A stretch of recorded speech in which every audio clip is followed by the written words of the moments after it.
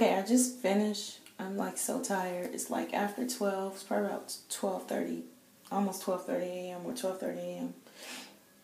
I don't know how these are gonna turn out, but it took me what two hours to do it. So I guess I'll see. I'm going to leave them in probably off tomorrow or Friday, and maybe take them out um, Saturday, or maybe I'll take them out tomorrow night, depending if I go somewhere tomorrow night.